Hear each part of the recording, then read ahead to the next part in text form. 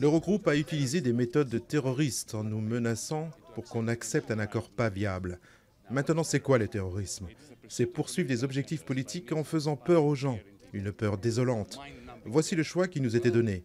Accepter un accord pas viable ou nous fermerons vos banques, peut être considéré comme du terrorisme.